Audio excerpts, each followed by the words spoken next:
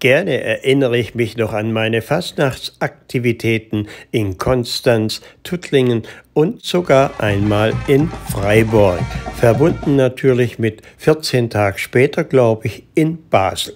Es war immer eine tolle Zeit, die fünfte Jahreszeit in Deutschland. Auch im fernen Amerika bekomme ich immer mal wieder Bilder zugeschickt, so wie diesmal von Heiko in Freiburg.